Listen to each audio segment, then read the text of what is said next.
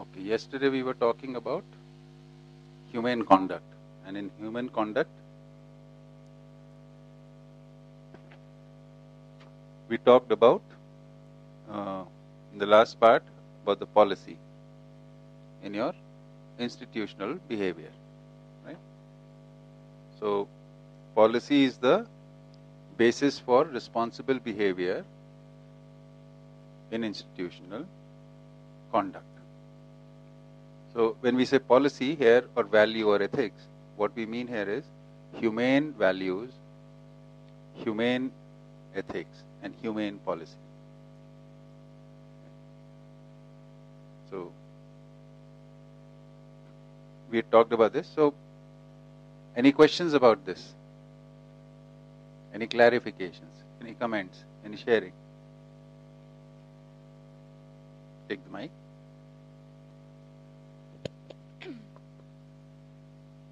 Okay. So uh, I just wanted to share, like I was just thinking from throughout.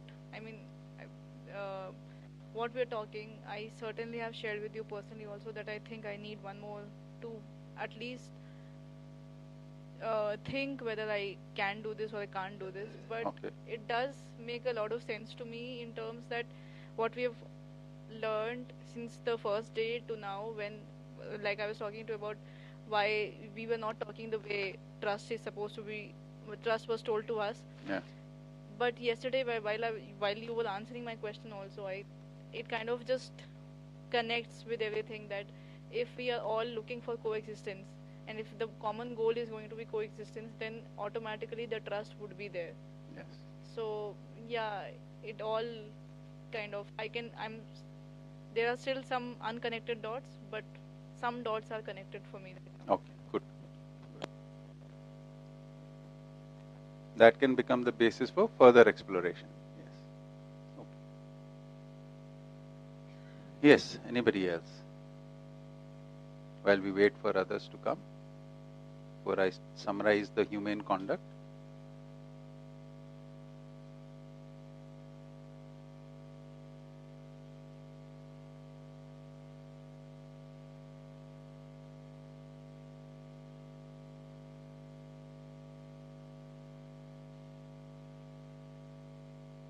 Pass the mic here, please.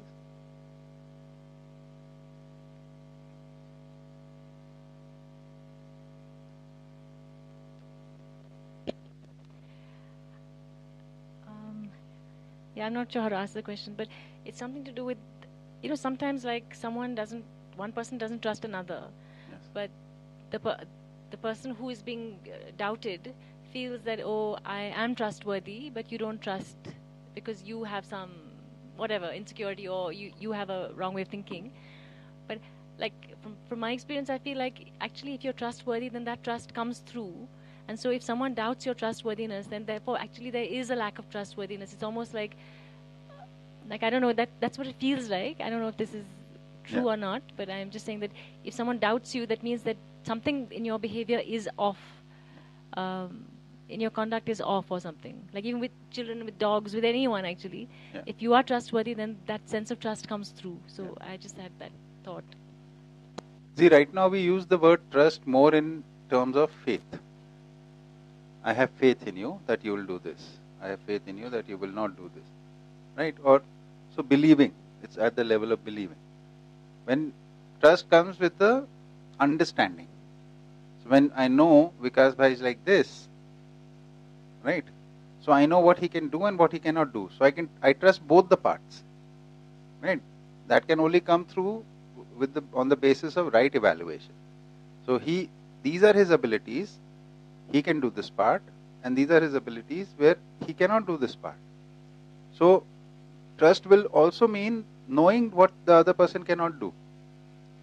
Which is not doubting a person. Suppose somebody says, like I, I'm I want to do this and it's a responsibility because we are talking about say in, um, as a uh, part of an institution, suppose your family. So then it can be explained to them, look, this is the evidence till now. You are standing here, so you say you can do it, but there seems to be a lack of evidence of this. We can communicate, talk about it. Right? So you need to further develop your skills in this area, and then probably you can do it? So, but that communication has to take place. And if we were doing our mutual evaluation regularly, then there will be confidence and trust about that this person does a does the right evaluation. So that background has to be there. Without that, this won't happen. It can't happen in, in an incident. We build up the trust with living together. Right?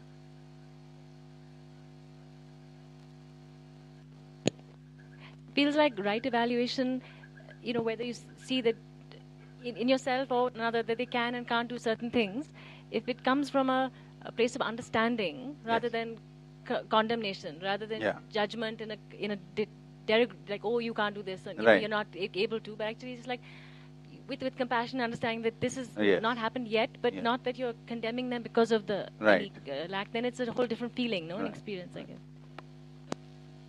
Yes.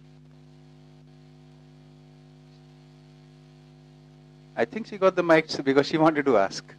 and she's asking for the first time. So No, I'm asking not for the first time, but actually, uh, uh, my question is if uh, we have to, naturally, we uh, have to change our human conduct, uh, our relationship.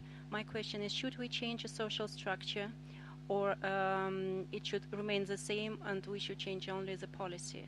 In case if we should change, do you have a vision in the GMVDM how it should be organized in a new way, in a just way, so that we can uh, just realize because many questions uh, were just about that there is some contradiction between our inner, I mean, uh, thoughts, our inner attitude, and even uh, relationship and the structure of this burden, which uh, comes from the structure itself. Right. So, do you have this vision?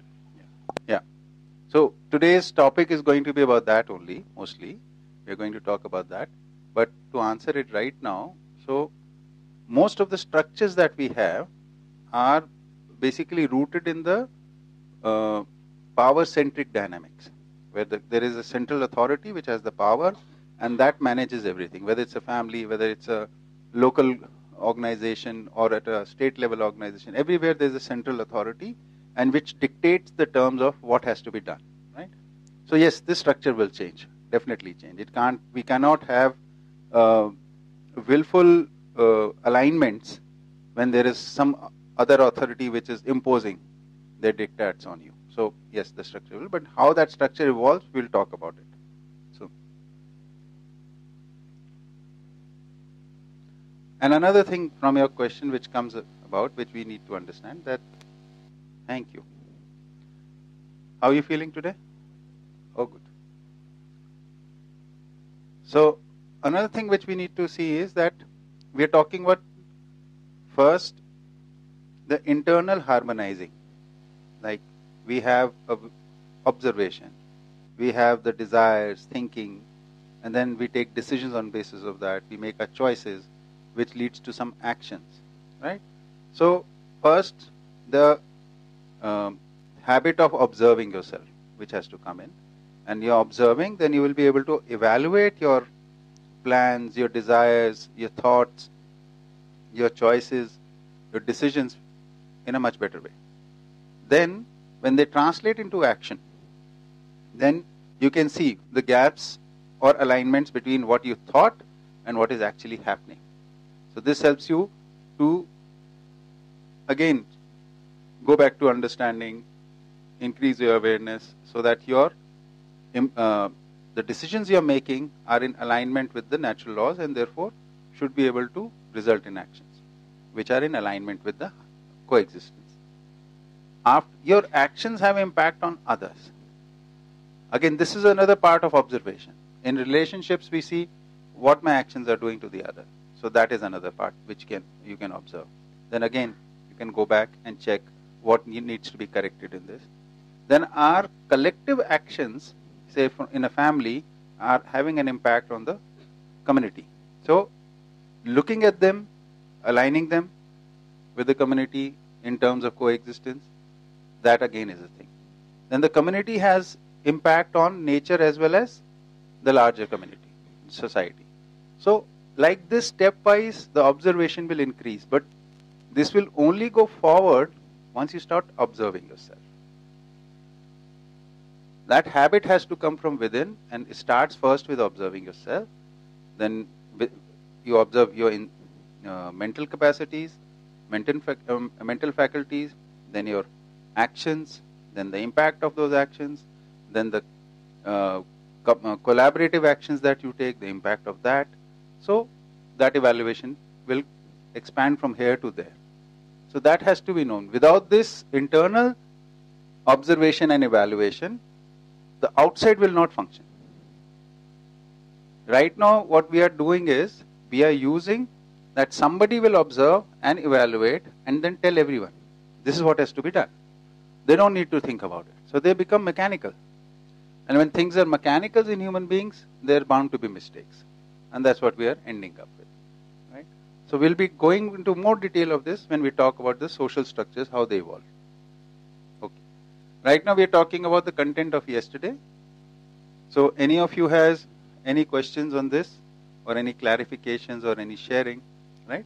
Then I will just summarize this. Yes, please. I just wanted to add to um, that uh, conversation on trust. That I think what you mentioned was whether that if uh, a person is capable of something. Just rotate the thing from the bottom. Hello. Huh.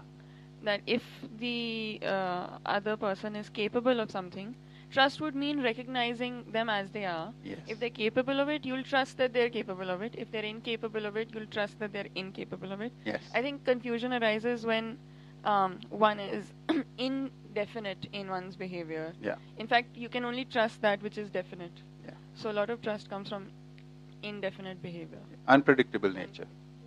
Right? We keep talking about. So therefore, res- taking responsibility makes us definite. And responsibility is not an event-based thing. Like the food has to be provided in the family. The somebody who takes the responsibility may ensure that there is food every day. Whether the outside conditions are conducive or not, this has to be arranged for. Right? So that is responsibility. Responsibility is not when things are okay, I'll do it. When things are not okay, I will not do it. That is not responsibility. Right? So that definiteness comes from take understanding, being aware why why this is need to needs to be done, and then taking the responsibility and doing it. So what we talked about, like every child has to grow up into a learned and responsible person. Learned person is one who can see the need of the situation, understands the need of the situation, and then has the ability to fulfill. So that is that's how responsibility will flow, and that will give the definite conduct, definite conduct in terms of humane values, humane ethics, and humane policy. So, so this becomes the basis of definite conduct. This is the minimum beautiful. That needs to be known. We can expand on this much more. With, if this is in the base, this is the foundation, then there is a lot of space for creativity. Right? So, anybody, any clarification, any questions, or any uh, comments on what we talked yesterday?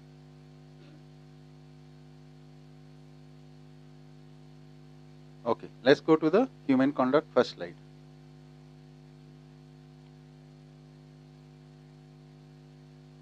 Yeah, I think this.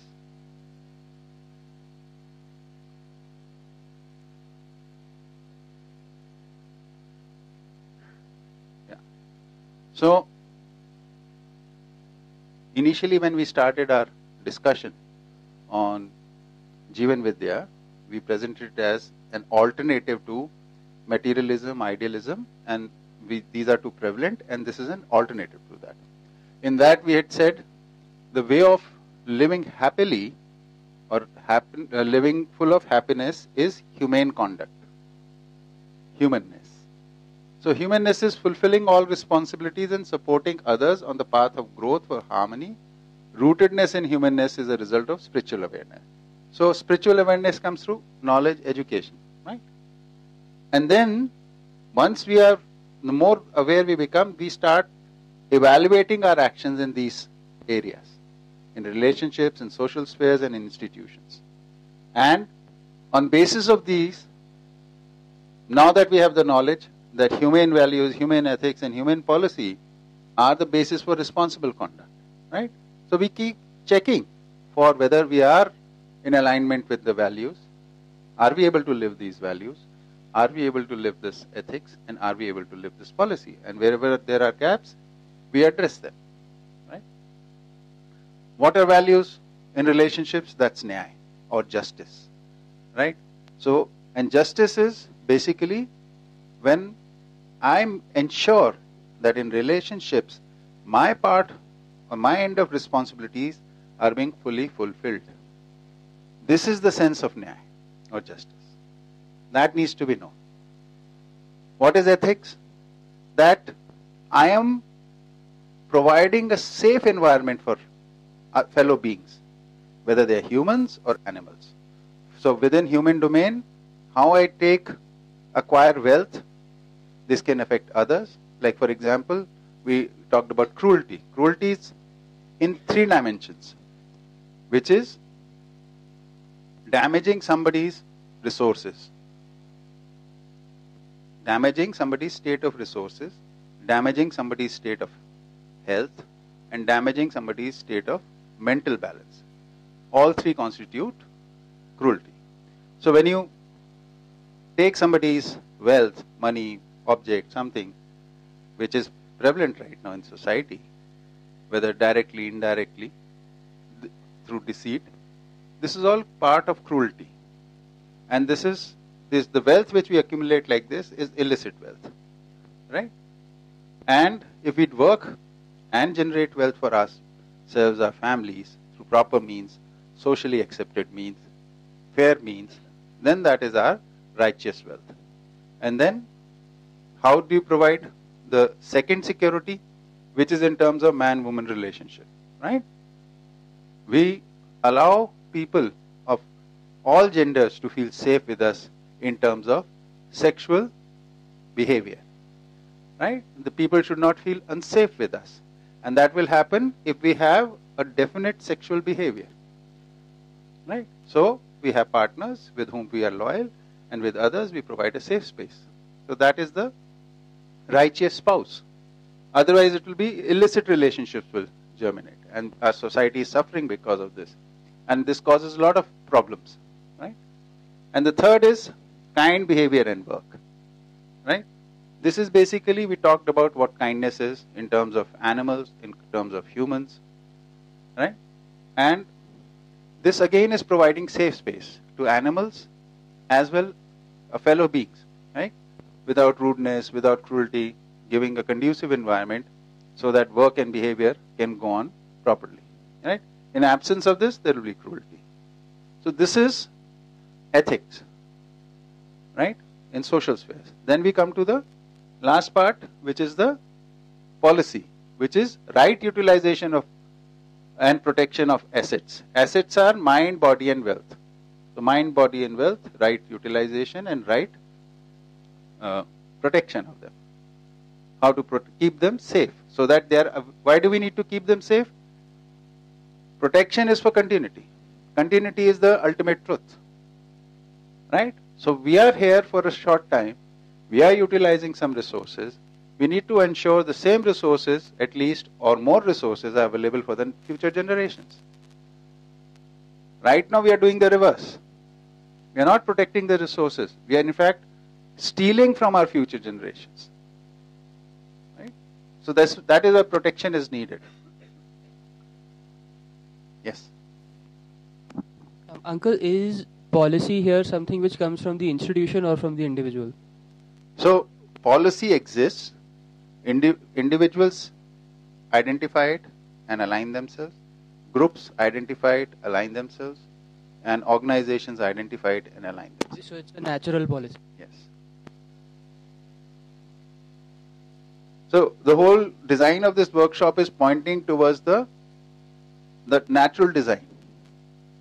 Here the we started with the statement that there is a role for humans in nature. Nature is purposeful. There is purpose for human beings, and there is natural design for human beings. Right? So, but um, in line with this question, we we were discussing with Harish ji yesterday. Yeah. That, um, this is the basic fundamental policy, but then a group having recognized this collectively, their uh, particular needs could come up with a more comprehensive, some some structure, some particulars, essentially. So this is what I was just now. I don't know whether you were here at that time.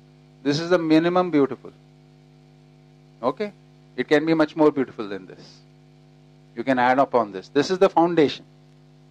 Foundation structure is this, and on that you can build up without violating your foundation. If you violate your foundation, everything will collapse. Right?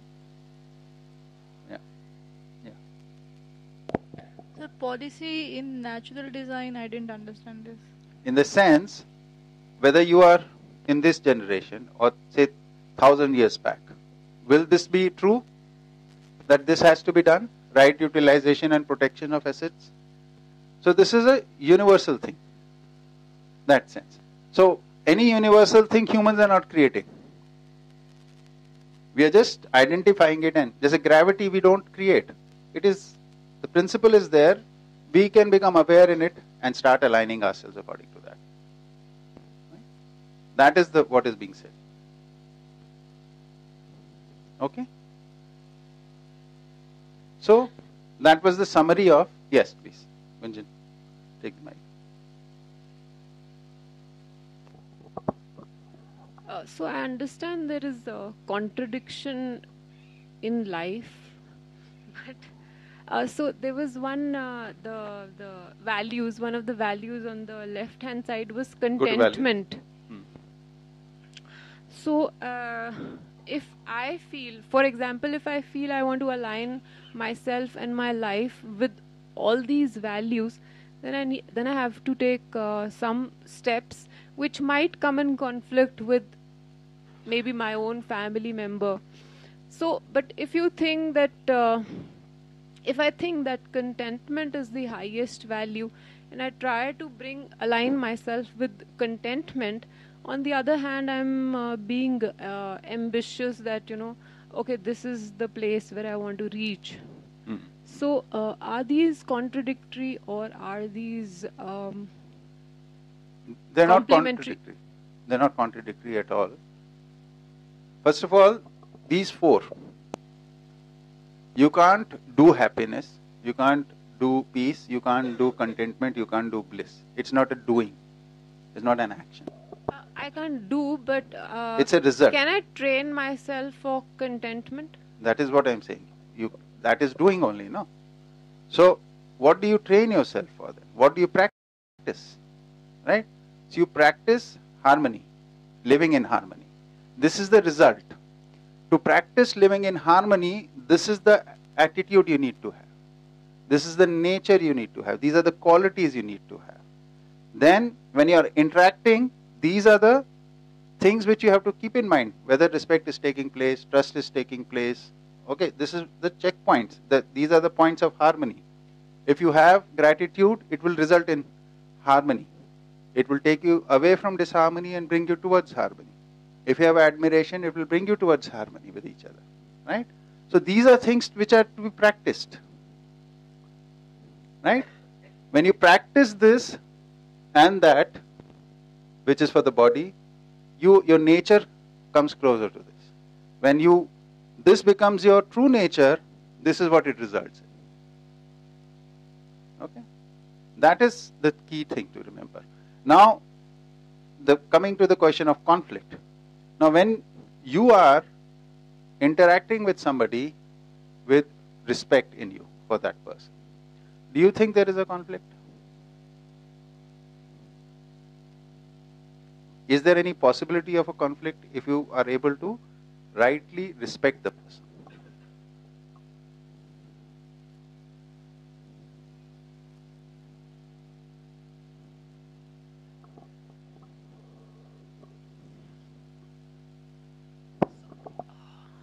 Rightly respect the other person.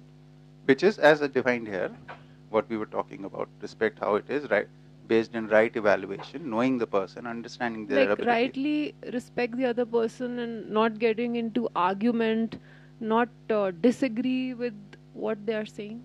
no no you're going back to the idealistic way of looking at things. What did we talk about respect here?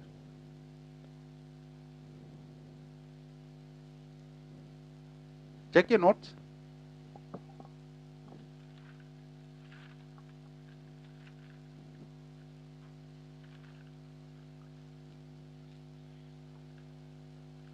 So, respect is basically the right evaluation, behavior based on right evaluation.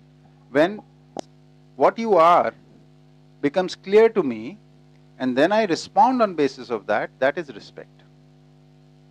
So, your abilities as well as areas where you don't have abilities, both are clear to me. So, I interact with you with keeping that in mind. Would this create any conflict between you and me? See, when we say respect, you're looking at it from what it's the prevalent meaning of the word is. Like there is elder person, then we should not speak in front of them, or touch their feet, or this. We are not talking about that respect here.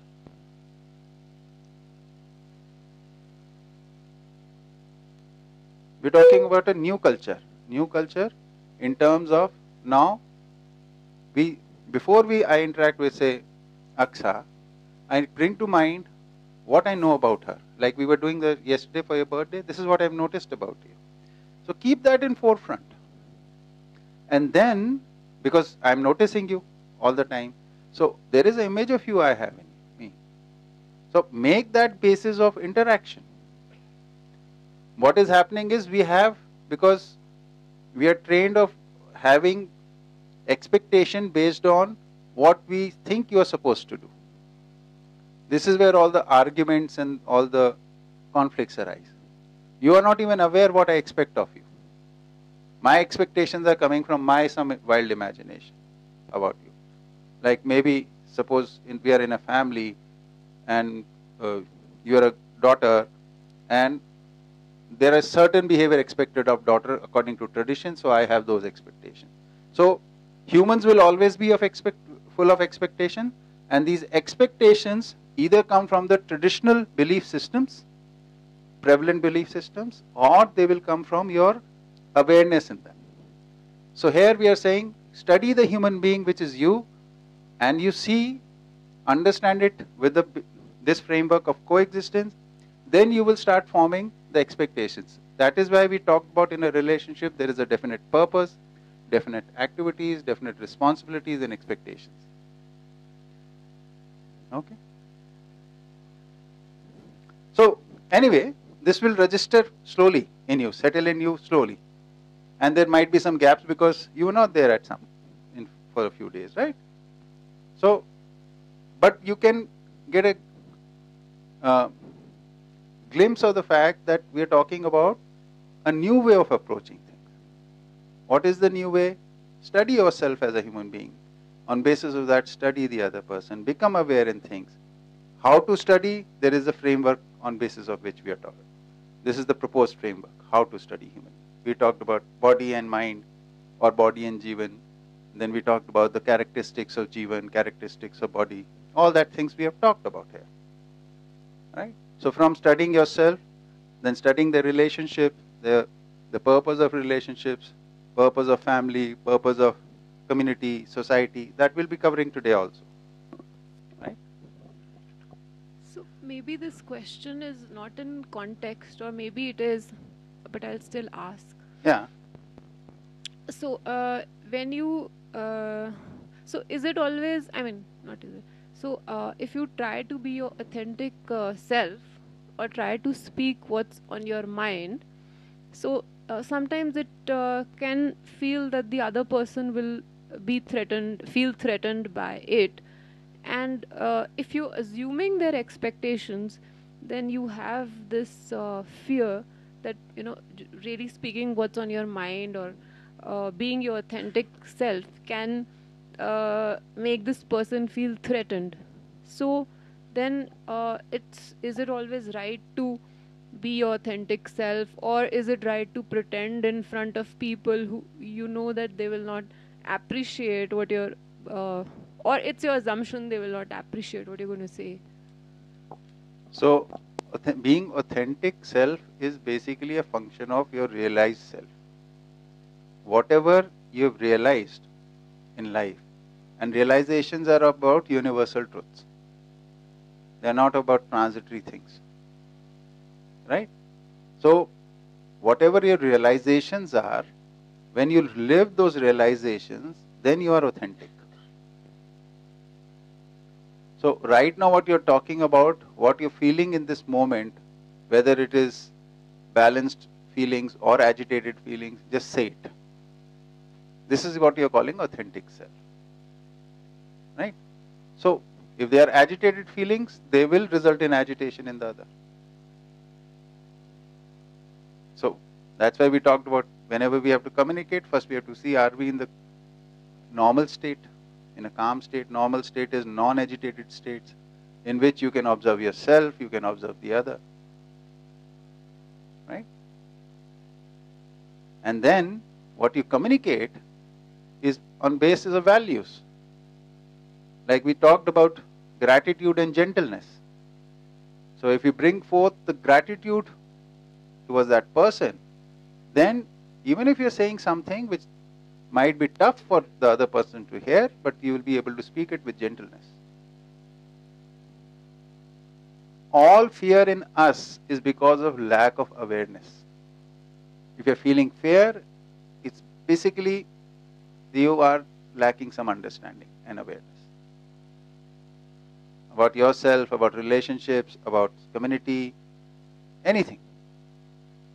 There are three areas knowledge of self, knowledge of the world, and knowledge of ha- living happily. So, out of the three, or from, huh?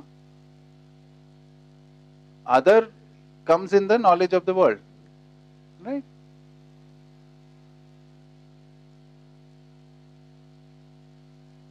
Any fear in us is rooted in lack of awareness or lack of knowledge.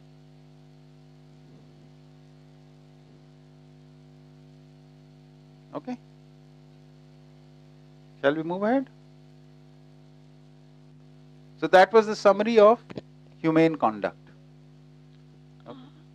I mean, I was just because we were talking about respect again. Yeah, I thought yeah, please. I must. I uh, Rotate it from the bottom and then Hello? leave it. Ah. so the the definition that we're talking about is only part is only partly the definition, right? Respect is um, the right the recognition of the greatness in the personality and talents of a person. Yeah. And that's why and specific recognition. And that's why it leads to amicability. Yeah. yeah. This is very important. So when we do right evaluation, we celebrate the abilities of the person. We acknowledge them and feel joy for that. Just like a mother or father feels joy for whatever child keeps learning. Right? So that is part of respect. And that will be giving you amicable behavior. So if we don't acknowledge what the other person is able to do, we do not um, enjoy that part, we don't celebrate that part, then there will be a, a distance between the two people. Okay. Let's go to that slide of uh, Samadhan Samriddhi.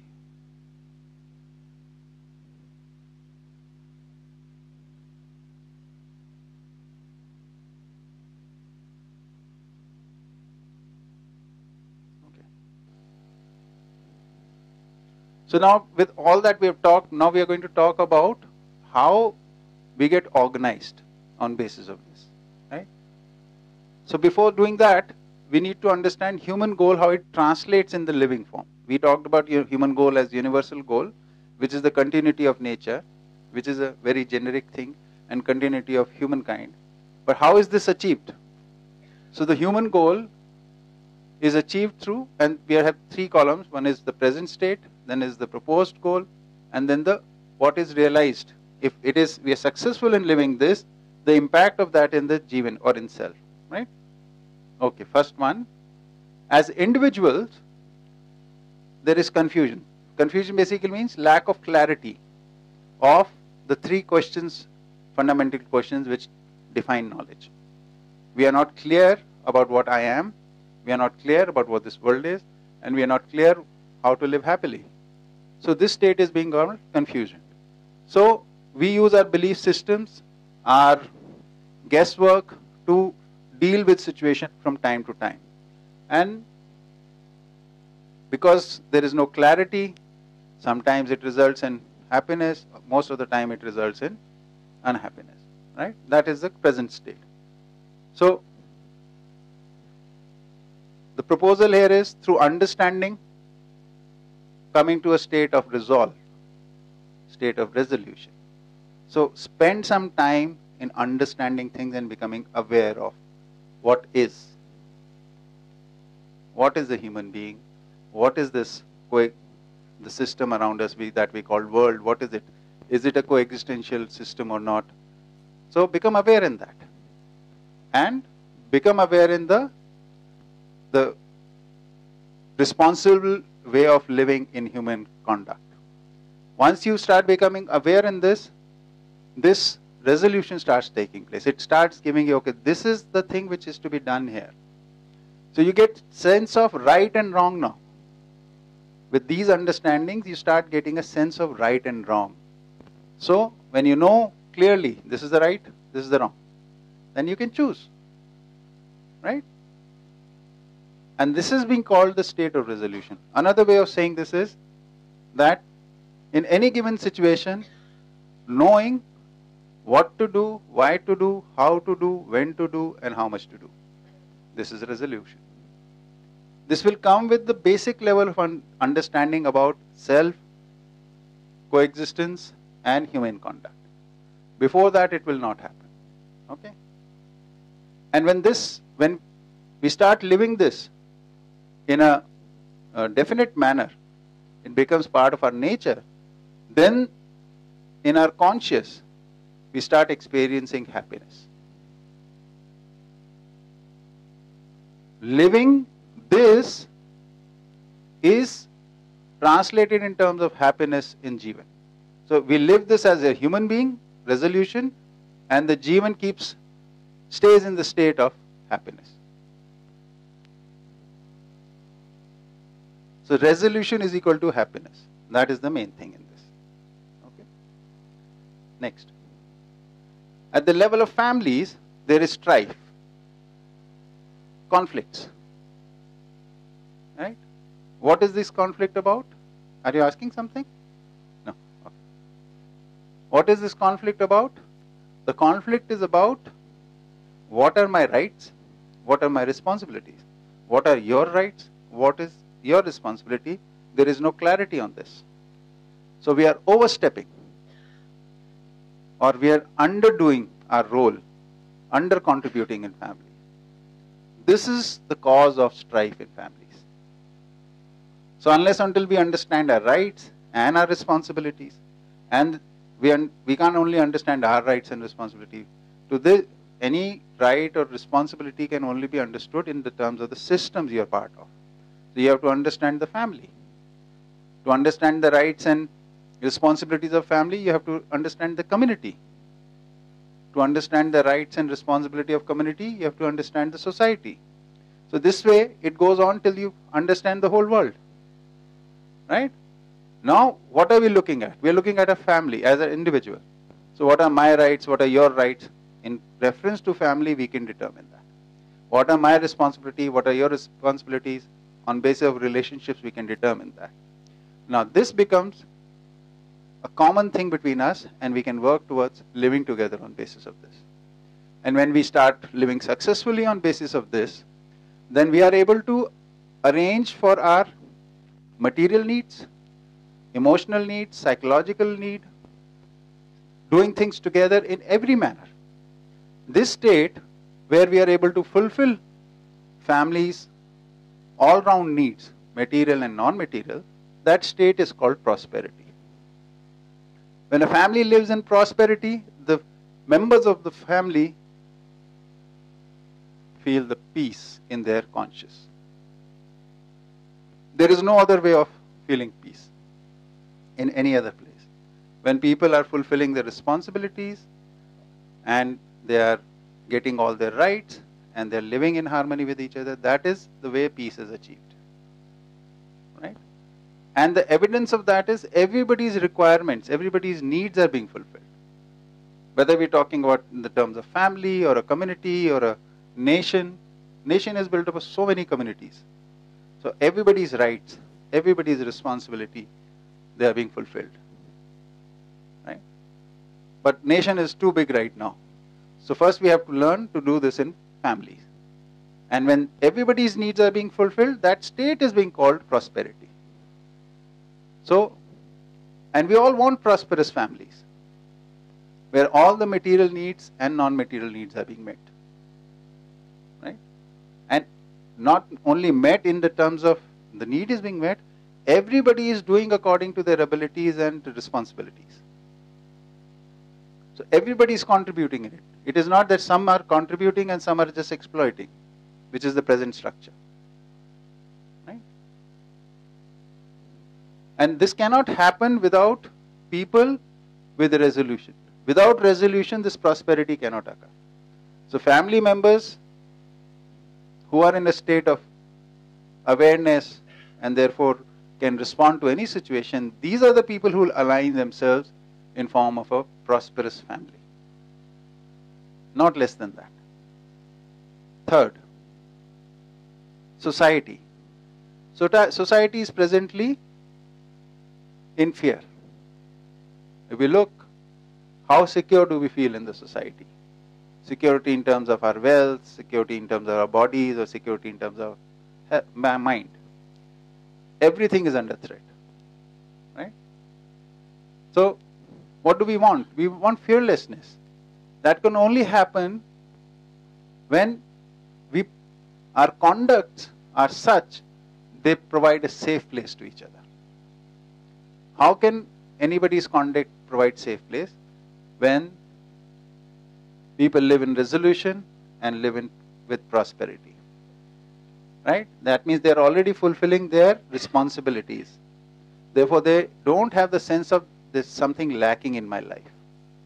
Such people are able to provide security in community. Right? If I, yes.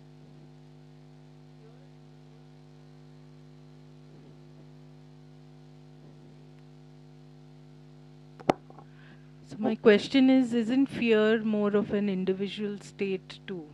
Right? Individual, at level of individual, at level of family, at level of communities, at level of nations. Mm-hmm. Okay.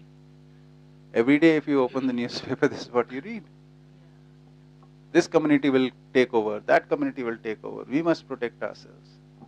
But also at the individual stage, because most of us aren't able to move out of fear at an yes. individual stage. Yeah. And everything else, I think, is related to yes. the individual stage. True, true. So this fear psychosis in large numbers is basically rooted in absence of resolution in individuals. That is the cause. Yesterday we talked about fear, four types of fears, how to come out of that we talked about. Right? So such individuals and that was basically the answer was the spiritual awakening or being aware of yourself and the coexistence and humane conduct, when you become aware in that, then you lose all your fear. And such fearless people form the prosperous families and a fearless community and society. Right? So these insecurities in the society is because as individuals we are insecure. You're right about that. And therefore we participate in the fear psychosis which is projected by some people. Right? So when the society starts showing fearlessness, the members of that community, society, start having contentment. Not less than this.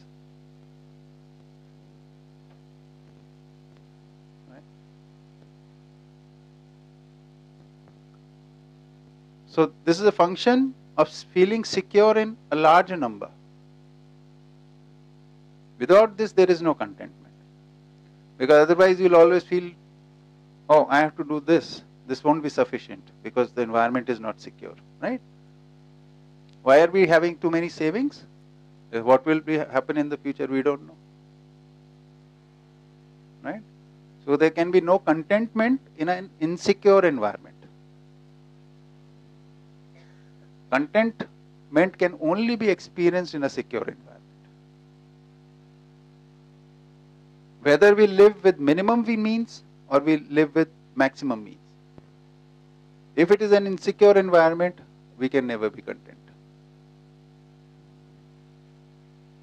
There will be some sort of anxiety in the background.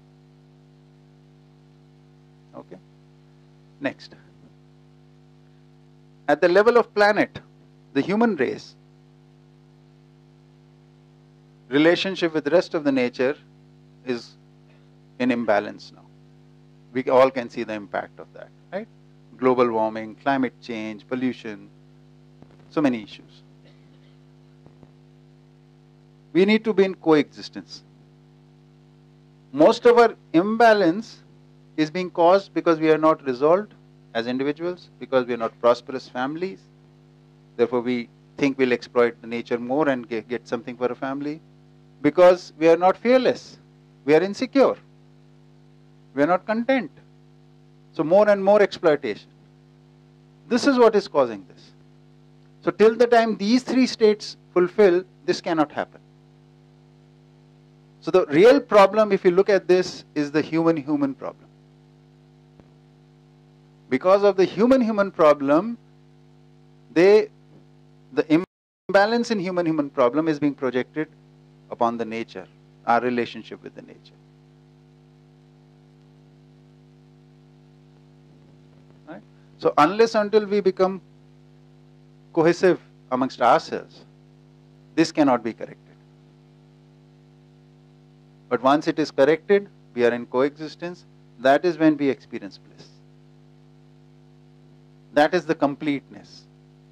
We talked about relation, relationships are for growth and completeness. This is another way of looking at completeness. So we basically want to be, want to realize happiness, peace, contentment, and bliss. And the way to do this is this at these four levels. If we don't do, do that, we'll be in this. So you can examine whether as an individual, are you in confusion or resolution? As a family, are in strife or prosperity? As a community or society, are you in fear about, amongst each other or are you fearless, secure? And as a planet, a relationship with the nature is in balance or imbalance. So we basically for everybody, these are the goals which we have to work for. This is being called proposed human goal. And this is in alignment of what we talked about earlier, the universal goal, which is basically continuity of nature and continuity of, of humankind. Right? This will ensure the continuity of humankind, these three. And because this works, therefore this will be ensured.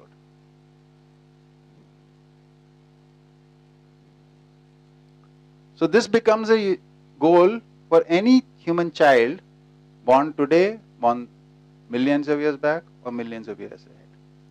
Always to be aligned with this. So, any questions on that? Any comments on this? Yeah. So again, it all boils down to the fact that first I can only change myself, and uh, I I though I can't even take guarantee of my family. Then I mean I can just, but it feels like an impossible thing to achieve, like because until I am happy, I will not be able to aspire for prosperity for my family and then reach to a level where there's fearlessness. So coexistence is like I will be dead by the time we reach there. Yeah. So wherever that, that means you're standing somewhere here right now, right? So you can can you work for this? So that means the first thing we need to know ourselves, myself, and we need that awareness of myself and knowledge. Then we can go for further. Yeah. So the first thing is at the level of individual, I need to li- live with resolution. Resolution is living in humane conduct. So, how do I come into human conduct when I understand order in humans and order in nature? Both things I have to understand, not only the human part. Right? This is where space and matter also becomes important at time. Right? Maybe not, it is not interesting to you right now, which is okay. You can pay more attention to the area where is, uh, you have a lot more interest, but eventually you will have to come back to unless until the picture is complete it won't work for you or for anyone. Understanding is not in parts. Understanding is always of the complete. That is a thing to know. You can't have knowledge of in bits and pieces knowledge is undivided unified thing okay so first we'll work from coming from confusion to resolution. This is a journey for, for every human child. Right? We said since birth the child wants to be just, uh, wants people to be just to him, and but doesn't know how to be just with them. From birth, the child wants to do the right, but doesn't know the difference between right and wrong, and the child is speaks the truth, but doesn't is not aware in what the truth is. Right? So these three are indicating of this. And we have to come from there to here. So ability to be just, ability to dis- discern right from wrong, and the ability to know the truth. That is what will bring you to resolution. Okay? Yes, please. Mike?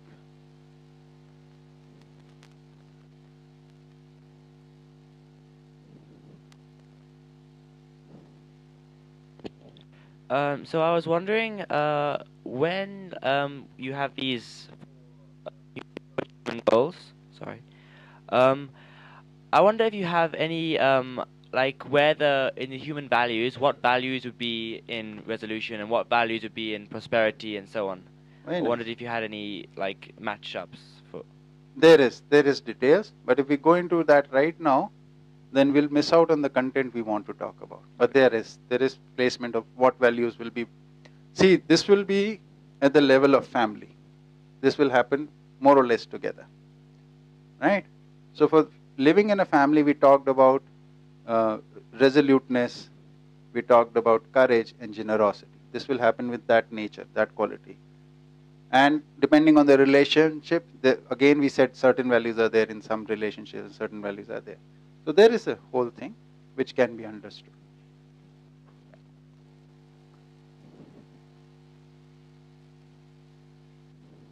very good question yeah because that is how we have to go about it Yeah. I'm sorry, I can't remember what were the four kinds of fear. If uh, we can see the slide again or something.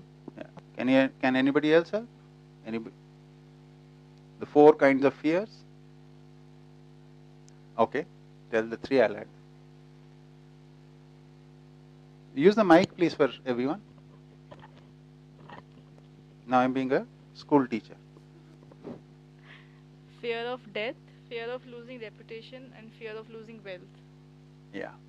And the fourth was fear of ruchi- losing the position in society Reputation and position are different. Yes. Like you, suppose you are the monitor of the class, or you are the prefect in school, or you're the head boy, head girl, right?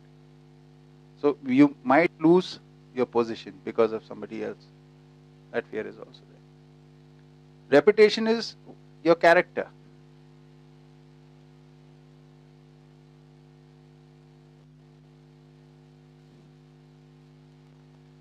Can't remember if we covered this, but it, this is interesting because all these fears are re- a result of trying to seek continuity in these four things Yeah. when there is none.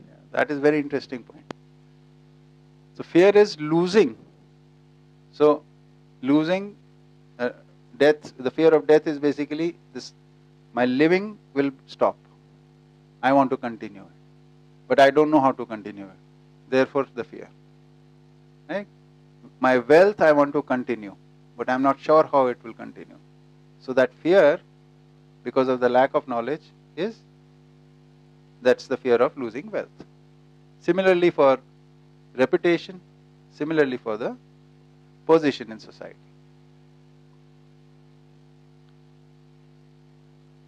Okay? Got your answer? Now, let's go to the next. Now that the human goal is set, right? So, everybody has to work for resolution, everybody has to work for prosperity, fearlessness, and coexistence in a stepwise manner. Right? No, move on. This we've talked about. Right? So now we need to organize ourselves. Right? For an organization, the minimum level of living, so minimum level of organization is a family. Right? There are five, six, ten people living together, and they are fulfilling their combined needs. The needs is basically are defined in terms of food, shelter, clothing, transportation, telecommunication, right? These kind of needs. But the resources for this come from the community, right? If it's a industrialized society, it will be a different sort of a community. If it's a rural uh, community, it'll, we have different kind of resources. But resource generation, one family can probably create one or two or three, just a few resources, right? But we need lot more resources. So for living models, you will have a local community. Minimum level of living is because there are the three basics for the body food, shelter, and clothing. These can be addressed. For this, you will have a local community organization. For that, you need five systems. Five systems. Okay? Then we'll go to this part. So, what are these five systems which are needed? So, this first one is the education. Right? Education for learning, right? For awareness. A system for that is needed. Right? Then, second is system for health. See, one is for Jeevan, one is for body. So, these are both needed. So, health system is needed, education system is needed. Then the third is for production because we need to consume resources every day. So we need some production, we need some food, some clothing, some shelter. So there needs to be systems for this. Whatever we are producing, that needs to be exchanged in a fair manner. So we need a system for exchange. Right? And in all this, humans are interacting. And there are bound to be places where we'll need to sit down and understand if it is fair or not. So we need to have a justice system. Right? From community level to international level, these are the five systems, minimum five systems which are needed for human living. Because human living is collaborative, that we talked about in the beginning. The collaboration happens on basis of these five systems. Because this is needed for living in happiness, living in prosperity, living in fearlessness, and living in coexistence. These are the five systems which are needed. Okay? So, if we are a local community, suppose we are a village here, we are living. So, some people will start working for the education system, and the others will support them. Some people will start working for the health of the community, others will support them. Some people will work for productions, right? And I'm not adding that this is all in light of coexistence, right? I'm not talking about the prevalent system. We're talking about the coexistential system. Right? In which, if you want to participate as a responsible person in the education system, your qualification will be that you have resolution. You have knowledge. Or, in other words, you have at least resoluteness, courage, and generosity.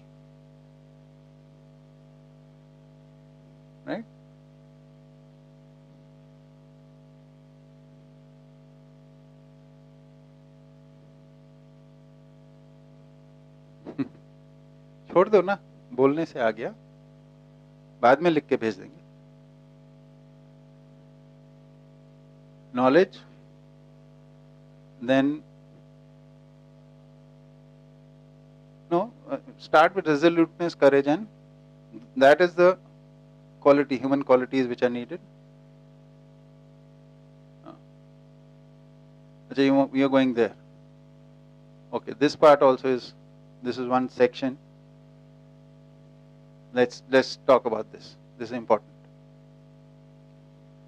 In hindi we call it samajdari se imandari imandari se jimmedari jimmedari se bhagidari. In english it is from knowledge comes honesty from honesty comes responsibility sense of responsibility and with the sense of responsibility we can participate or contribute. Participation i make it contribution.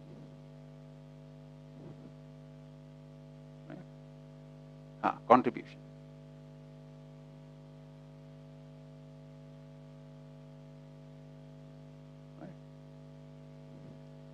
Without knowledge, you will not honestly evaluate your responsibility. The problem is honesty in evaluation, right? Which comes from knowledge. When knowledge and honesty are there, then you can clearly identify your responsibility. I'm in this family, I'm in this workshop, I'm in this community, I'm in this nation, you will be able to clearly identify your responsibility in all these spheres. And when you identify your responsibility, fulfilling your responsibility is your contribution.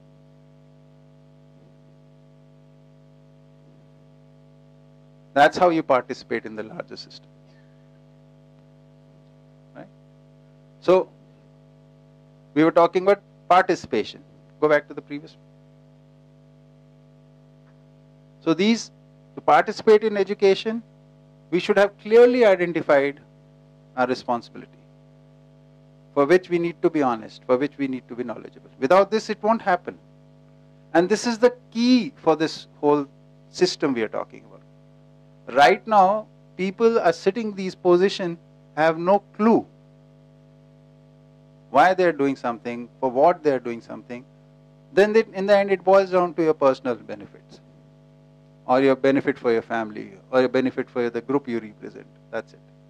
There is no universal goals there. That is the problem. So you're always working for vested interest. Whether you're in education, in health, production, trade, justice, everywhere there's just vested interest.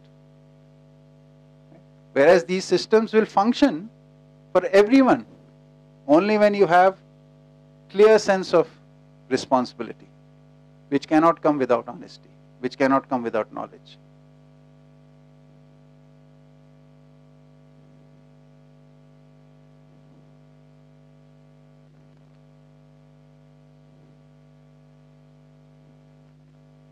That looks interesting. Would you like to share?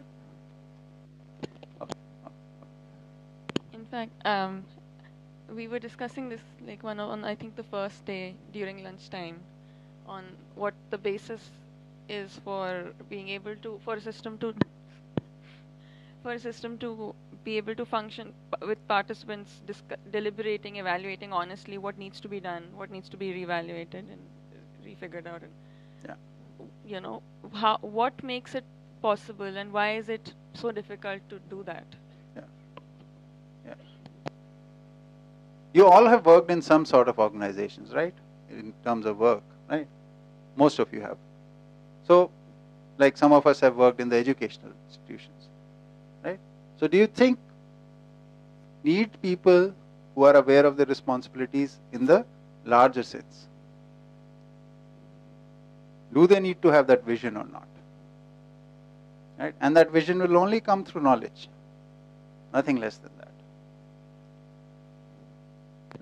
Besides vision also because uh, in the absence of knowledge we have so many concerns but since we don't have clarity they it's at times seem at odds with each other Yeah. so we have to compromise on one Yeah. for in favor of the other so we can't be honest Yeah. in in conversations regarding the Yeah. one that is low priority Yeah. Without the overall vision, things are very patchy. And whichever patch you favor, you you start moving in that direction. But that leads to ignorance of something else. Right? So unless and you, until you understand the whole system, you cannot come into a coordinated action where all the everything is addressed. What needs more attention, what needs less attention, what needs to be done first, what needs to be done later. All these things be- become clear with knowledge and honesty. Right? So these are the five systems which are needed to live as human beings. Okay. Now these five systems can function from various levels, from a village level to say a group of villages, to a say a district, say to a state, to a nation, international. So here the multi-leveler organization in human beings becomes relevant.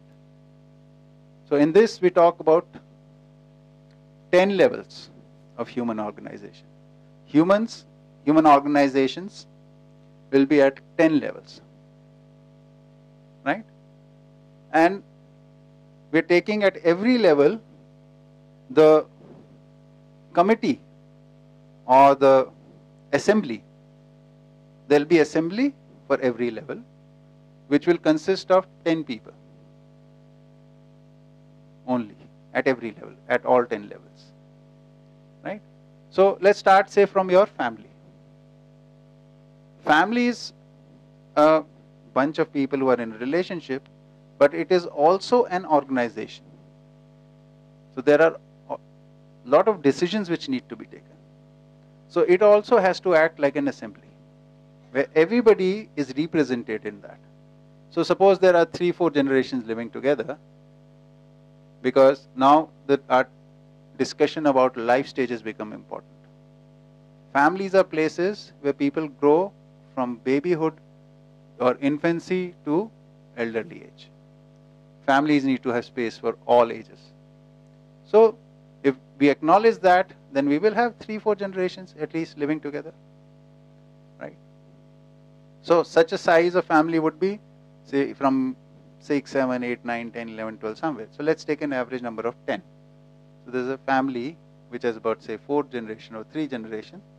10 people are living together.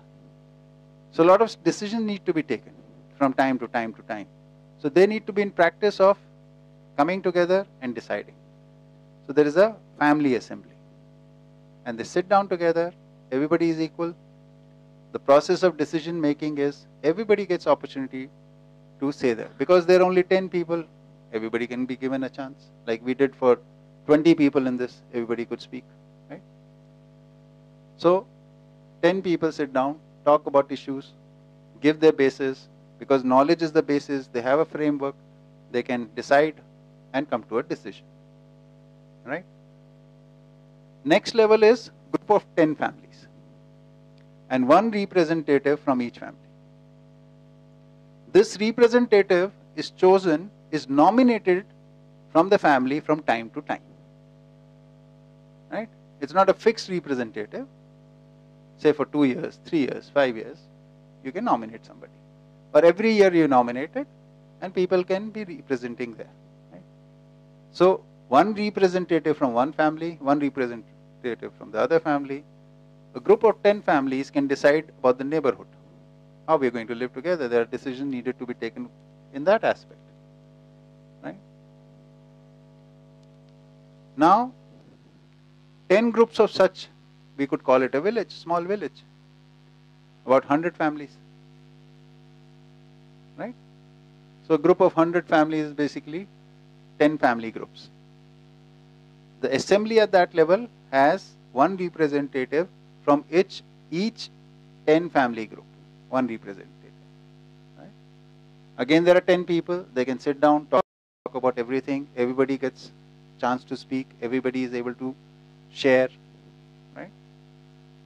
If you look at this model and look at the present model, like our parliament right now, the members of parliament who are elected to say Lok Sabha, there are 540 odd members, which represent how much population? Hmm? Say 1.2 billion. So for each constituency, how many people are they representing? A lot. Very good answer. Don't need to do calculation. Okay, number is not important. The idea, general idea. Suppose this representative was supposed to discuss issues of each family, say, forget each individual, and wants to dedicate only five minutes to each family. Now that you're doing calculation, say, divide that number which you got by 10. What is that number?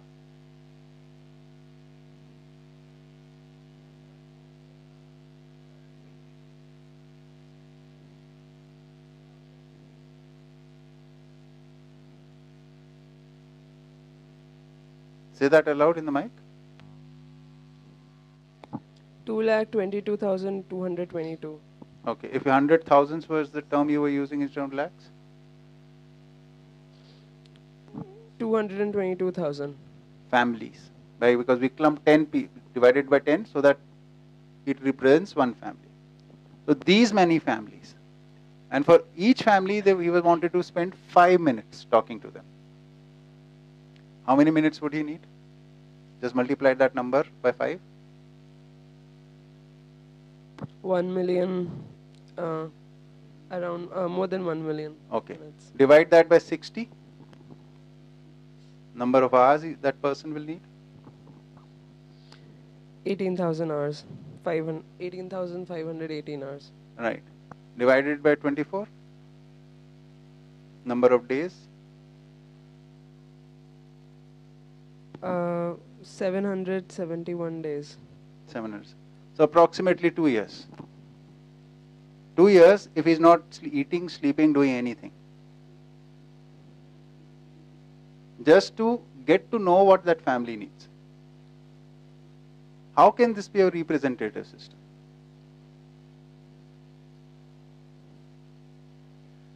Right? Yeah. How would uh, representatives be chosen in this system? nominated by the assembly of 10 B- amongst 10 people you can come to a consensus. But in 500 it's not easy. And these are t- 10 people who are who got the nature of resoluteness courage and generosity who deal with each other with trust and respect. Then only. So a nomination is not a vote. not a vote it's a nomination. Consensus. Who's the most appropriate right now? Amongst the family, one can decide, huh? हाँ two years if आज का MP को, हर परिवार को पाँच minute देने बात करने के लिए। तो सुबह से शाम तक 24 घंटे भी वो देता है तो दो साल लग जाएँगे केवल सुनने के लिए कि क्या, कौन कहाँ, क्या चाहता है। ना तो उसके पास सोने के टाइम है, ना खाने का टाइम है, ना पीने का टाइम है। ना टॉयलेट का टाइम है right So what will the representative do? It will represent only a few people. That's what they do. Huh? No, see, they don't even think in those. They don't want to listen to anyone. They said, This is stupid. I'll listen to my family, my friends, maybe a group of, say, my caste or my religion or something, some representatives of that. Yeah. Would this be full-time occupation for the representative? No. No. Never. It is not an occupation. It is a social service. A social service which is done on basis of prosperity in your family. Your material needs are being fulfilled in your family. And because we are a family of say 10, uh, 2, 3 are children, 2, 3 are elderly, but 4, 5 are there who are capable. Out of that, one is going to become the representative, or the elderly person can become the representative. But their material needs will be taken by this family. Elderly person has already contributed in this family during his working days. So he has enough capital, the social capital as well as uh, material capital to invest on basis of which he can do the social service. So there is going to be no money given for this at all. Right? It is for your joy because you want to see this the community to rise up. That is what it is meant for. Right now, you see the parliament sits down, every day they increase their salaries. They pass a law, nobody can challenge them.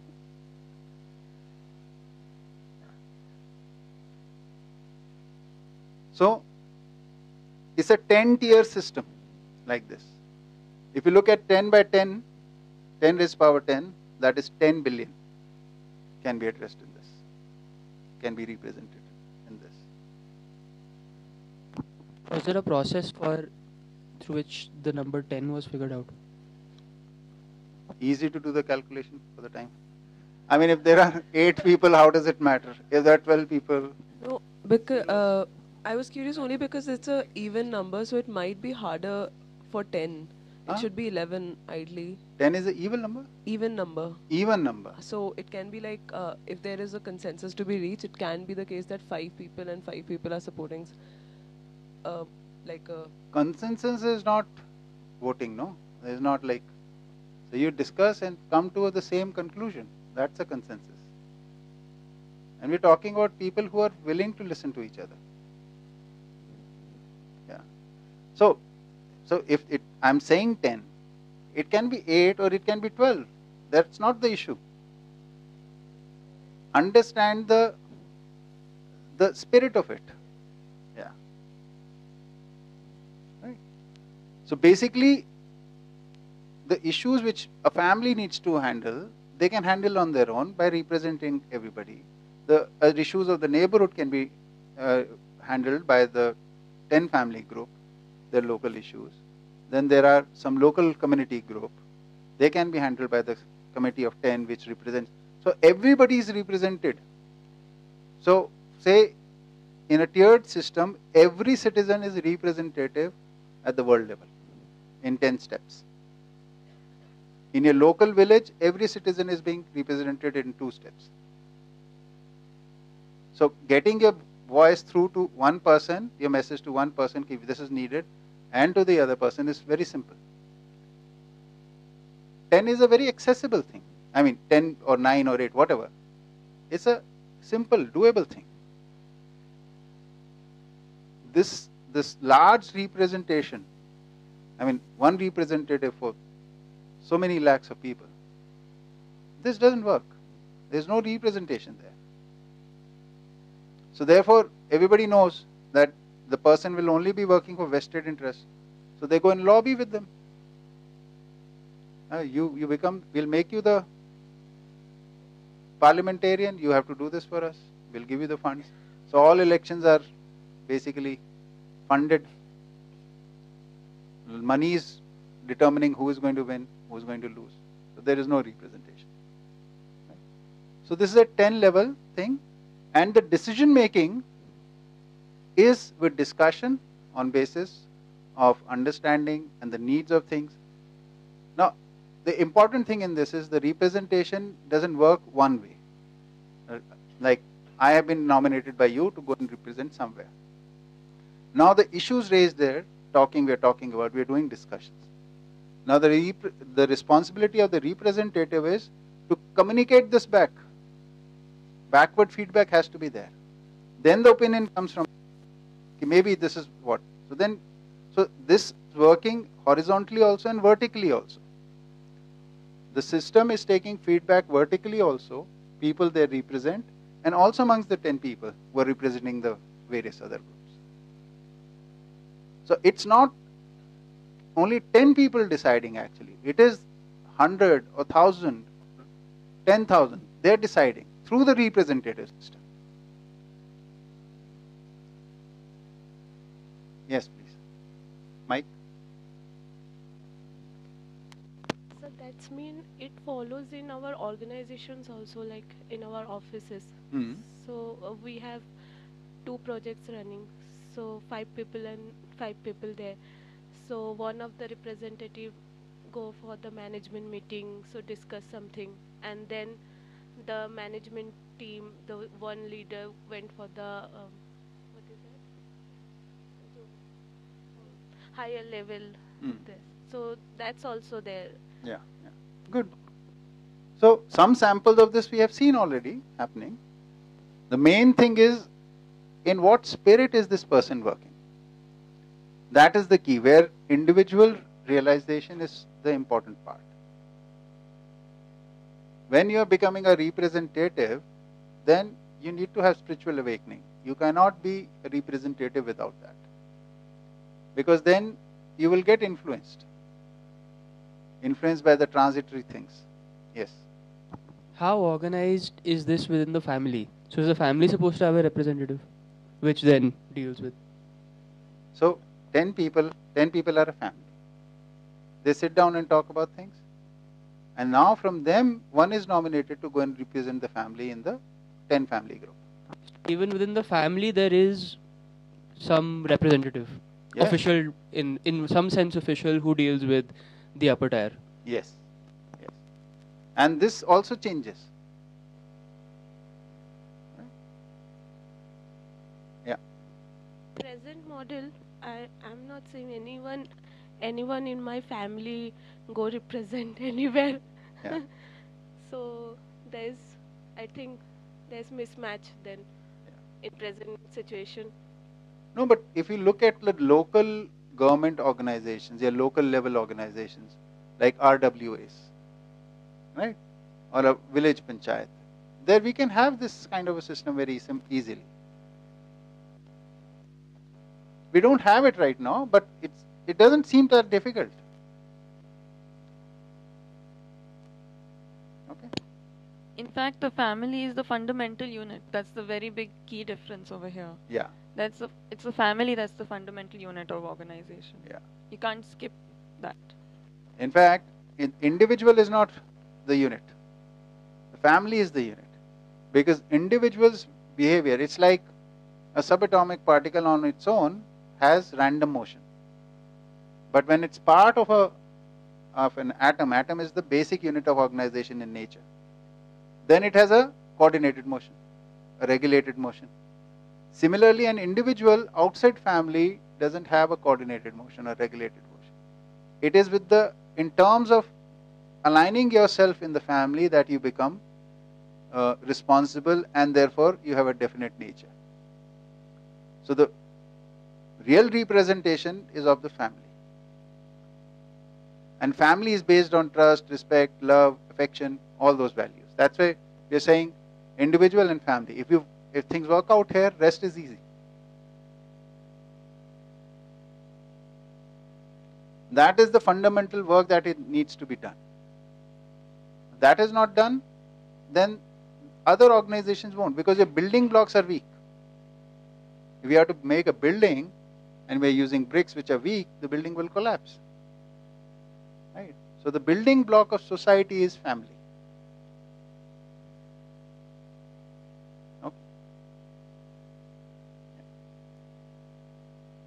So this 10 tier system, right? And at every level, there are only 10 people who have to decide things.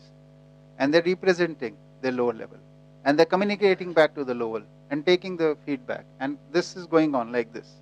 And this level is doing it with its lower level and talking like So every level, people are connected, horizontally and vertically. That is the organization that we are talking about here. Okay. So decision making, which is the most important part, collective decision making, which takes place in the assembly.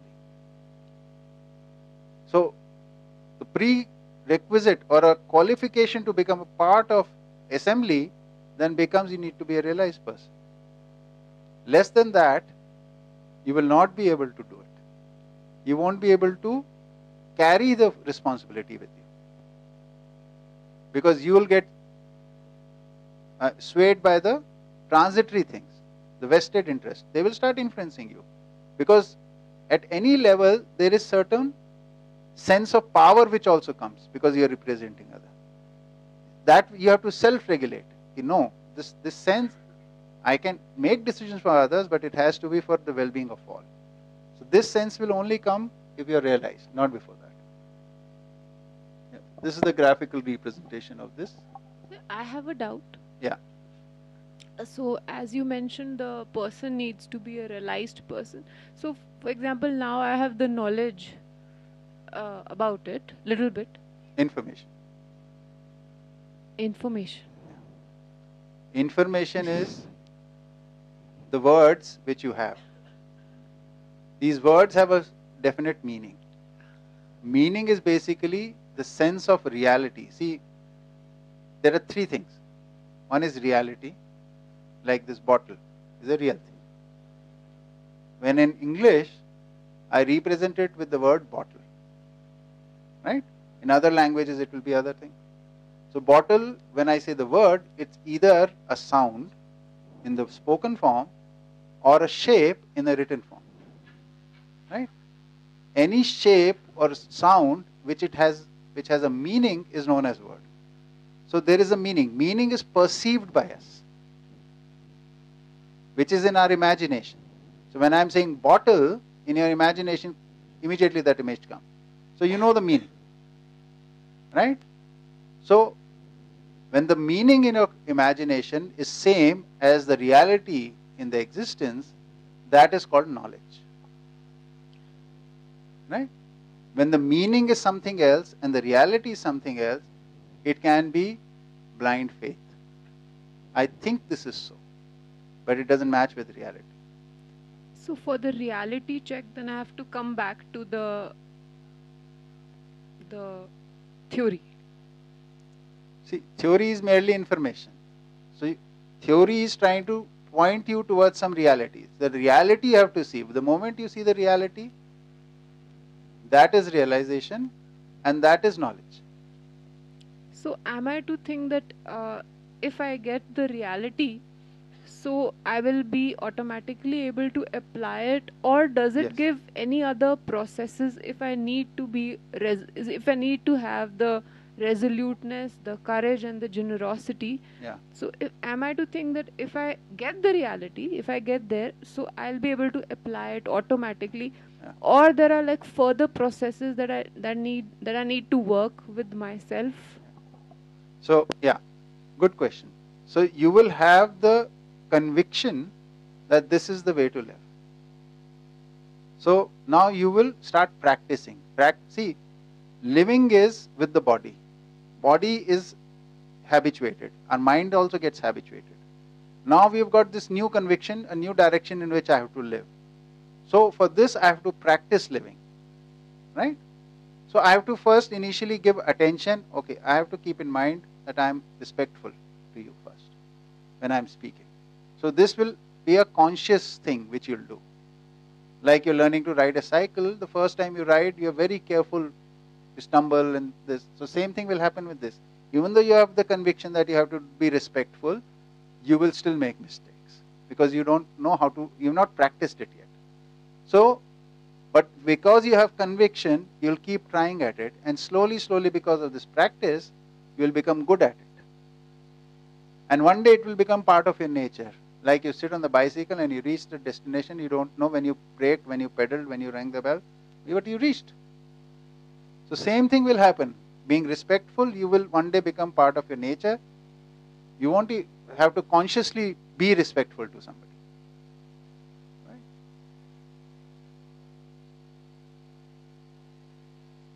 Okay. Mike, Mike, Mike. Reality plus meaning equals to knowledge. Yeah. The meaning which is reflected in my imagination matches with the reality in existence. That is knowledge.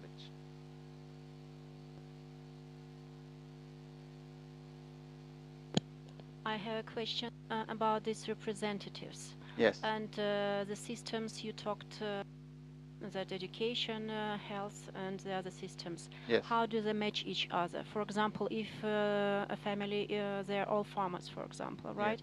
Yes. If they just choose one representative, and uh, uh, will he address all the questions on all these parts, or if he doesn't know this, how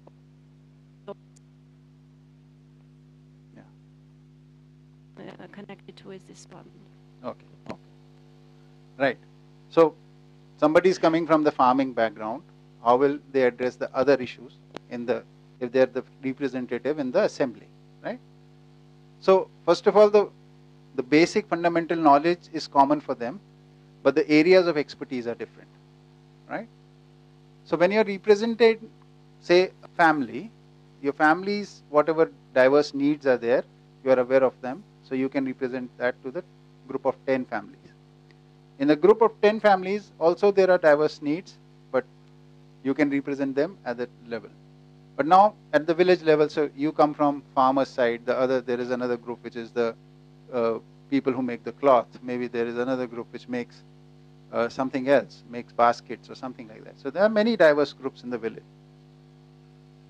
They all will have representatives, representation in this 10 uh, assembly of 10 people at the village level. So each will bring in their needs and requirements for that situation. And because they have this approach that we have to coexist and we have to talk about these things in a manner, and they'll come to decisions. See, in the end, it is about being able to consider the other person. Once they decide this, that this decision has to be implemented, then you have to go to the committees of the education system, health system, production system, trade system, where the where the experts of those things are already working. Right? That organization, education can only be provided by people who are authentic in education. Health can only be provided by people who are authentic in health. Right? So there are three levels of expertise that we talk about here. One is in the area of work, right? The other is in the area of behavior, and the uh, third is the area of knowledge right? So, work related behavior is another expertise. So, work, the skill sets. So, somebody is a doctor, it's a specialized thing. You have to spend your whole lifetime to become specialized in that. That is very much needed. Similarly, somebody is, say, uh, in some other field, like somebody is making, uh, doing metallurgy. It's a very uh, niche area. They need to be experts in that. So you have to spend a lifetime. So people who do metal work and things like that, they also need. So everybody has to spend a lifetime into becoming experts. So these five levels of organization, say production. So production will, in, at the village level, will represent most of the production in that. There, may, there might be many farmers, there are few cobblers, there are few people making pottery, there are few people making something else. They all get together, the experts of that thing, right? And the production committee will have only the producers of various things represented there. Again, the assembly will be of 5, 10 people only, not bigger than that. Right? And again, the representative structure can be taken. Now, from the parallel structure, suppose a group of villages needs to decide on education. So, the representative of education from each village will go and represent this at, say, district level.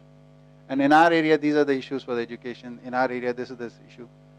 So there is a parallel system of these five systems which will be there.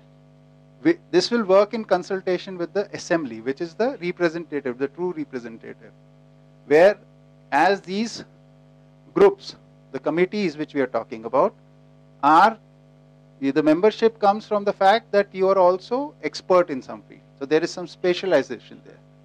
Whereas assemblies, there is no major specialization needed as such. But you need to have understanding of how humans work together, how decisions are made together, what is good for the society. So these assemblies and these committees at every level exchange and they coordinate with each other. Any more questions on this? Give the other mic, please. This is not working very well. Take this one. Just question. And who is uh, the final policy maker? Right. Yeah, sure. Yeah. so, who is the final policy maker? So, any policy which is to be adopted will come from the need for, say, policy regarding education, policy regarding trade, policy regarding health. The recommendations will come from the the five systems, committees of that level, and the to the assembly of that level. They will recommend it, and that they will decide.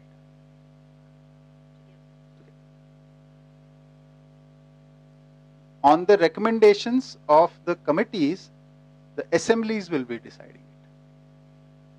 Suppose health committee has suggested we need to have some sort of a health thing done.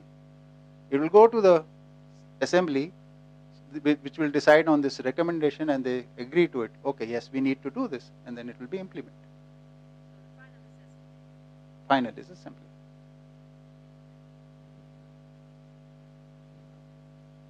Hmm? If there is a need to go above, right? So, see, there is no need for multiple roles. Like for roads, say a district level thing can organize the roads, right? For this that area, and then there are national roads or state roads for which a state level committee can decide, right? So, but say roads in a neighborhood, this can be decided by the say village committee. How it can be organized, right? And then how it it connect to the say the district level road. And then districts can decide what can be the internal network, but how will it connect to the state? So there will be exchanges with this tier above you and tier below you. So for national organization, these are the requirements they are coming. From the local level, there is coming. So all the inputs come together at every level, the recommendations are there. And every level, there is a committee which is expert committee, which is studying the issue. So it is not like these just general people sitting and deciding on issues which they don't know, like we do in parliament right now. Right? That's why they have those parliamentary committees supposed to be, but they, they hardly function properly. So you need expert committees. These expert committees will come from these five. places.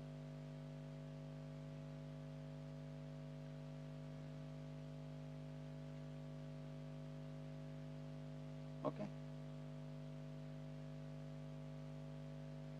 Any other slide on this? I think completed this part, no?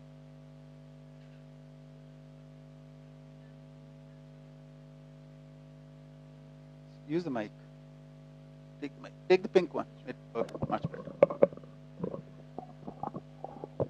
We had uh, kind of touched upon this in the study of nature and order Right. and how there is complementarity and usefulness Yes. In at different levels. Right. And so when we understand order in nature, Yeah. realization results in us also voluntarily, independently organizing in such a way. Yeah.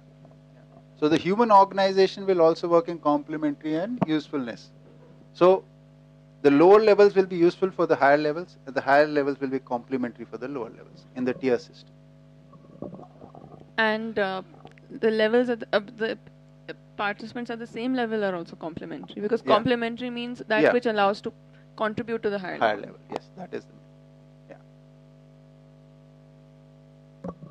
So, I think the in our country at least, all these structures are already there. Not really. Not Not, fully. Not fully. Okay. Not fully. I was just thinking that they're already there, but the spirit is not there. That imandar uh, responsibility and authenticity is not there. No, we I thought about. is. Huh. Sorry, complete. Sorry. so no, I'm just saying that you're saying that even in the structure there are some gaps. Yeah, the major gaps because you see, uh, it's an overgeneralization to say that the structures are. These structures are designed for power-centric rule, for which you need authority to flow in a certain way. So there are mechanisms of fear and greed which are inbuilt. So these structures are meant for that. The structures for uh, self-motivated alignment for uh, uh, order will be different. They, they might look something in parallel, might on the surface, but internally they'll be very different.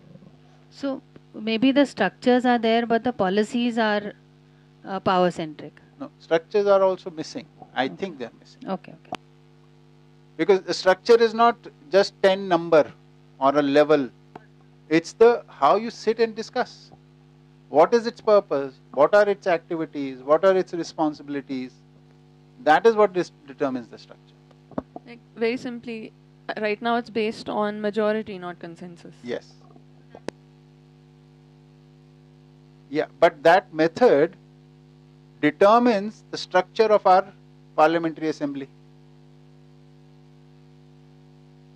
Right? Like representative model is from citizen to the assembly. And there is only one assembly at the national level or one assembly at the state level. Because it is majority rule, therefore this structure has been brought in. So this structure won't be the same.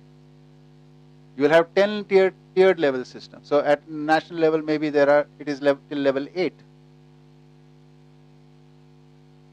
So there will be 8 levels of representation. There. So the structure will also change.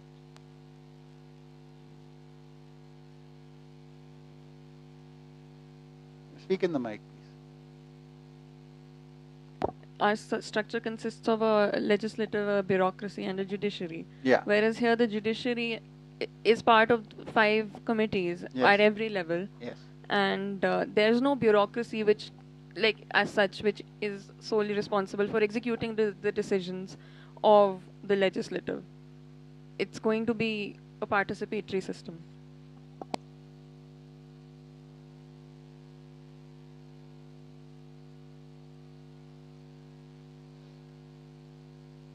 But this is just very initial thoughts on this. And this is all in imagination because we don't have this kind of a community, right? So these will evolve, these ideas will evolve. But these fundamentals are in place now, at least in, in form of ideas, and building on these ideas logically is taking place a little bit. But we are also progressing in the direction of becoming realized ourselves. And the more we become like that, this will concrete further and it will be take more much better shape much more uh, then we will be able to communicate it in, in a much better way.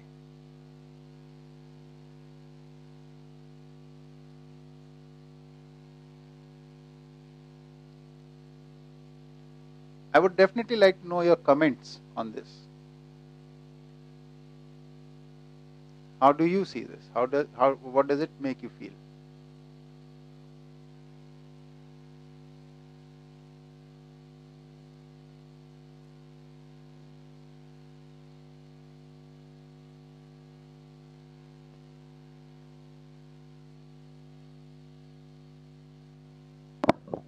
more human scale and makes much more sense because actually everyone's everyone's voice can you know through being represented can go up and everyone's concerns can be met. Right now it's kind of like a big you know faceless sea. And just a few people whose voices are loud or whose money is loud their voices and their concerns get met and most people's don't get met. So this would ensure that there's a lot more fairness and justice actually in terms of representation and meeting every, each other's needs. In fact, like such big decisions like war are taken by few people, and the whole nation has to face the consequences today. Where most people will not be in favor of war. This is happening. few politicians take the decision of war, and common man has to invest their lives, money, everything to fight that war. And this is happening all over the globe right now. So majority doesn't want war. Or most people don't want war. But some people for vested interest are taking that decision and because our structure is like that. Right now, like in India, for last several years, our Supreme Court is making some decisions. And those decisions go against the constitution. But we are we are like because the structure is like that, we can't question Supreme Court. Therefore we, we are going by that. And this this is changing the nature of the very constitution for which the Supreme Court was there. So this whole feeling of helplessness and then along with that anger. This built up anger in people. This creates civil wars fight and and this is a never ending vicious cycle which keeps on going keeps on going.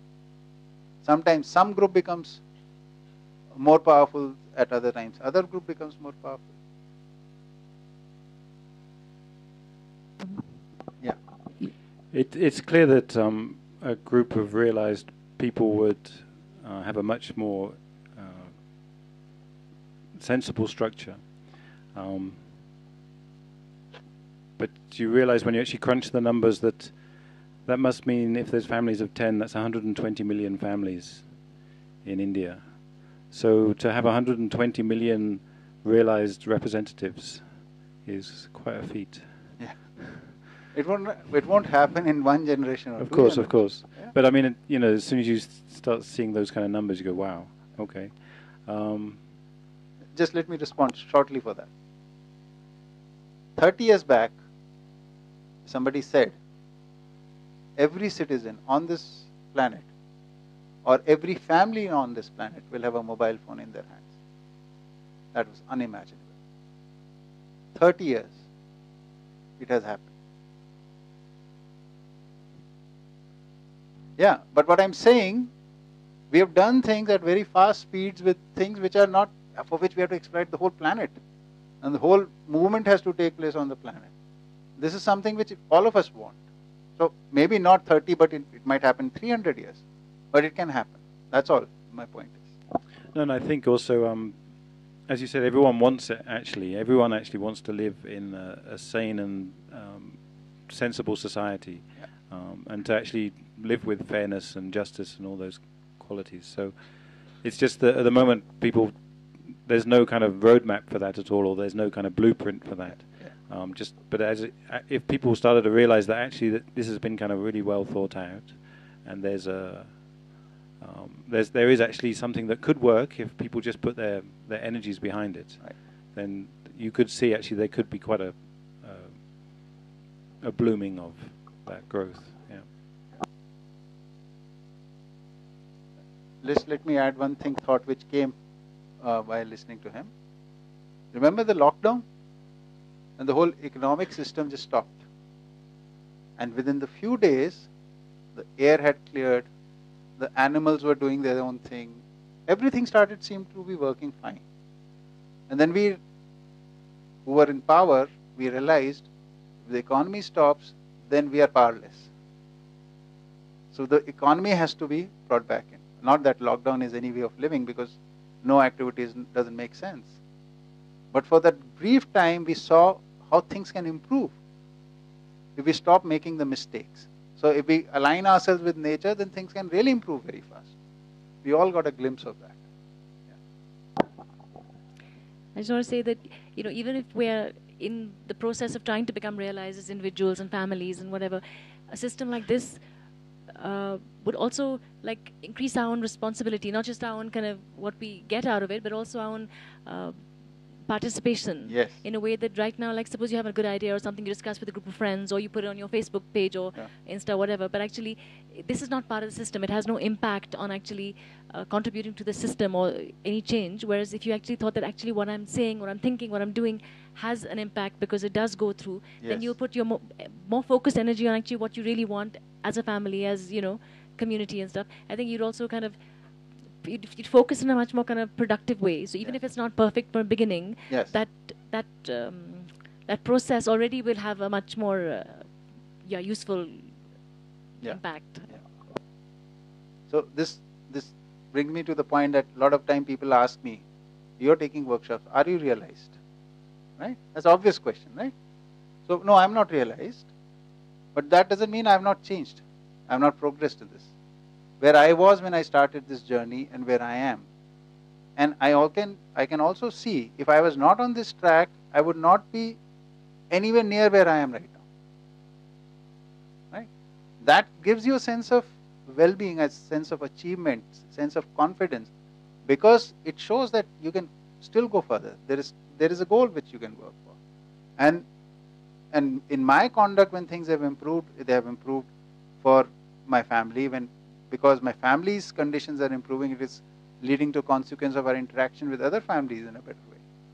So this whole thing which she's saying that the, the journey itself is a gives you a sense of growing and a, a sense of well-being and we are moving towards a better thing that is very important because in the end humans have hope and this hope should stay alive that we can live in a right manner and we can improve and we can do much better that it gives you hope a lot of hope this way That's what um, what you're saying also reminds me of how you know if you have a roadmap, it really centers you, and as you're saying, if you have a certain thought which is in probably a productive direction, but there's no roadmap as to how you can take it forward, you won't center yourself and work with it to build it. But if there is a roadmap, you have hope. Uh, you then also hence have patience and also motivation to center yourself and focus on it. And that's where that patience, resoluteness actually comes in.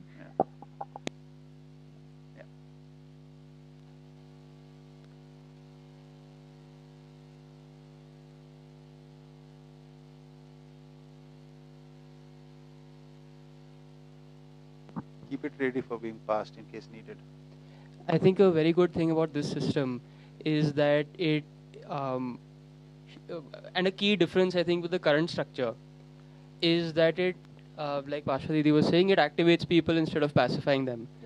In the current system, we have a structure of ratific, like a shopping cart model of politics where every five years you go and sort of choose um, what other people think is um, good for society, and then you sort of outsource your responsibility to them, and then they tell you what to do, and then you can go out and uh, live your own life, quote unquote. But it sort of separates people from coming together and uh, making creative contributions. But in a and there, you know, you, you even have the one vote system, right? So the individual sort of takes priority, but individuals are then segregated. Um, but in a group system of politics, I think individ- individuals come together. Then they have to be more active by default, in that they have to make creative contributions and participate directly. Um, they have to participate directly in their local environment, even or even in, within their own household. And what is really telling in in the history of um, democracy, the word for this is actually anarchy. But um, we know, you know, automatically when people hear the word anarchy, they're sort of, you know, there is a huge sort of uh, um, assault on this way of thinking because it can be very dangerous to the current um, uh, system of things. the centralized system. Yes. So, in fact, this promotes authenticity at every level, right? At the level of family, you have to be authentic. At the level of local community, you have to be authentic. At the other levels, also, you have to be authentic. Without that, you can't go there. So, authenticity is very important. in this. So, your improvement, your family's improvement, your local community's improvement, everything, everywhere you have space and you can take responsibility, you can participate, you can contribute. I mean, this is what is needed. What you're saying, the passive democracy, yeah, we vote and then disconnected, totally disconnected, nothing to do with it. What is happening in parliament? When are the parliament sessions taking place? That information is also not known to most citizens. What are they sitting and talking about? What are the laws they are passing? No connect. Right? Now they're passing a law with that Prashant Bhushanji was telling us the other day in the previous workshop that they're about to pass a law about these uh, pandemics, these fast spreading diseases, in which if the government declares that it is a pandemic, all your citizen rights are suspended. They're passing that law. And not only in Indian parliament, in many parliaments across the world. Now, we have no clue of this.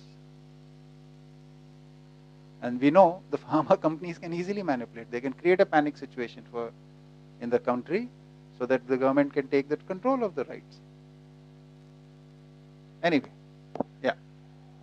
One thought of caution that appears to me though is that this the structure definitely uh, encourages growth, but can it ensure growth? Like, is a structure enough to you know lead to such growth? Absolutely. And that's often a concern.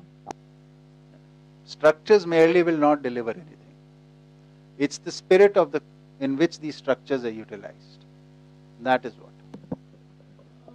Sir, uh, in present situation, in the structure, there are fears also, the four fears. Yes. So the structure is utilizes those fears for scaring the citizens and taking them in a different. Fear and greed are the two tools that they use. Yes. Yes, please.